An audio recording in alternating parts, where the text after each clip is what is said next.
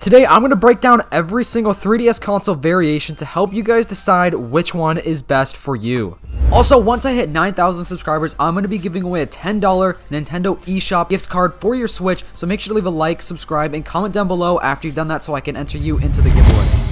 So first of all, there are a good amount of 3DS consoles out there to purchase, so it could be kind of stressful to figure out which one is best for you. There's the original launch 3DS, the 3DS XL, the 2DS, the new 2DS XL, and the new 3DS XL. They all sound the same, but they all have their own different features, and some of them have their own special editions that are only available for that specific console. But the special editions do cost more money, so I'm just going to go for like the base model here in this video. Each 3DS console is amazing, and I think any of them are worth picking up, but some definitely have some features that may suit you better. Firstly, let's talk about the original launch 3DS. This is the same size like the DS Lite or DSi basically, but it was the introduction for many people to the 3DS lineup.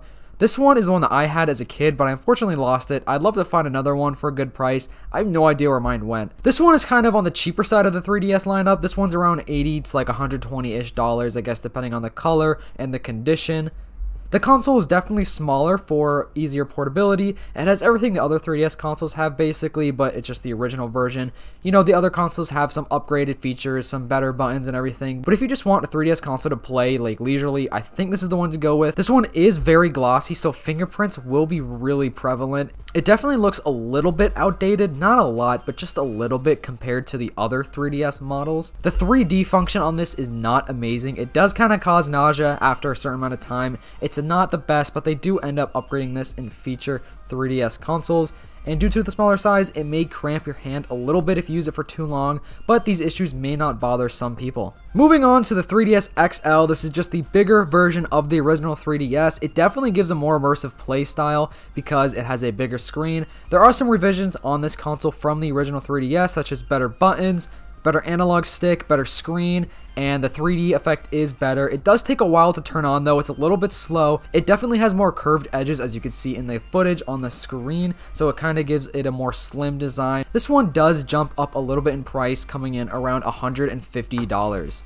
Now onto the 2DS. This one is definitely controversial in like the handheld console world because of its design. This one does not fold. It literally is just one size. It's like a brick, and it does have like a slant design, which is kind of weird, but strangely enough, people say this is the most comfortable 3DS console to hold. This one doesn't have the 3D feature, which I don't really think is a big deal because most people don't really use the 3D anyways. I never did because it always just it always just kind of got in the way and it gave me a headache. This console does kind of feel cheap because it was made as a cheaper console. It's kind of made for kids. It's a really sturdy console. It can be dropped and it will probably be safe. This one's also a little bit affordable right now. It's around 80 to $90. Now, moving on to the new 2DS XL. This is the one that I actually picked up about two years ago, and the reason I did was because of the design. I think this is a really cool design. I love the front with the blue and like the black with the lines. To me, it just kind of resembles like the OG Nintendo style in a way, and I love the front screen. I think it's really sleek looking. So this is one I picked up. The only issue I have with this is the screen hinge kind of flops around a lot, which I think the new 3DS consoles don't do that as much, and it is a little bit annoying at times, but it's not a big deal. This one also doesn't have the 3D feature, but it is a clamshell design, so it does fold like a laptop. One of the coolest features on this console is that you can actually cover up where the game cartridge goes in. You know, like how on your 3DS or DS or DSi or whatever, it goes in the back and you could just click in, it comes out. On here, you could put it in at the bottom, not on the top, and there's a little cover that goes over it so you don't accidentally click it. Not that that's like a really big problem, but it's there and it's a nice feature. This one also has like a longer feel to it, so it's not like as much of a brick. I think this fits better in the pocket than other 3DS consoles personally because it's pretty pretty thin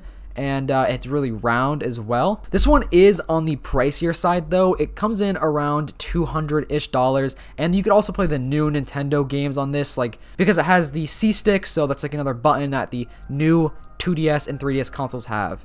Next up, we have the new 3DS and the new 3DS XL. So they made the big and small version of the new 3DS consoles. This is the 3DS console that most people like and most people go with when it comes to buying a 3DS in modern day because it has a really nice design. It's the most modern version.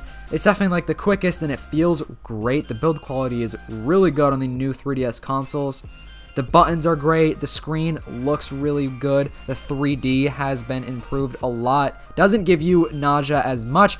I mean, it still does after a certain amount of time, but you know, it's definitely a huge improvement from the original console. One of the coolest features about the new 3DS consoles is that you can actually change the faceplate. So you can always have a new refresh look to your console. I wish the new 2DS had that, but it's alright, it's not a big deal. The faceplates do cost a lot of money though, which is kind of unfortunate, so you're gonna have to do some research to find a good price or maybe some knockoff ones, but it's a really cool feature. These are also really expensive too, around like 200 to 300-ish dollars, depending on condition and the color of course, but most people go with this console. I'd say this is probably the most popular 3DS console just because it's so improved from the original console. So it has all the best features and it's still a 3DS console and it's the clamshell, of course. Personally, I'd say if you're going to buy a 3DS for modding it and you're going to be using it like all the time, very frequently, I'd recommend the new 2DS XL or the new 3DS slash new 3DS XL just because they're the newest, they're the fastest, and if you want a 3DS just to play some old childhood games, just to use every now and then, play leisurely, I'd recommend saving some money and going with the cheaper models like the 2DS or the original 3DS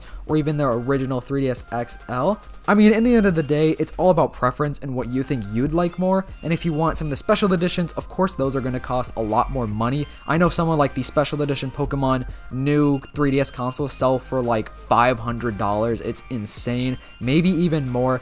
But the prices I gave in this video are just all about the base models, just like, you know, the, the flat out color, like the blue, the red, the black, just the normal colors that everyone had, the most common ones. But the special editions might actually hold their value way better, so that's something to put in consideration. But yeah, let me know what your guys' favorite 3DS console is, or the best looking one in your opinion. Hope you guys enjoyed this video, make sure to leave a like, subscribe, and I'll see you guys in the next video.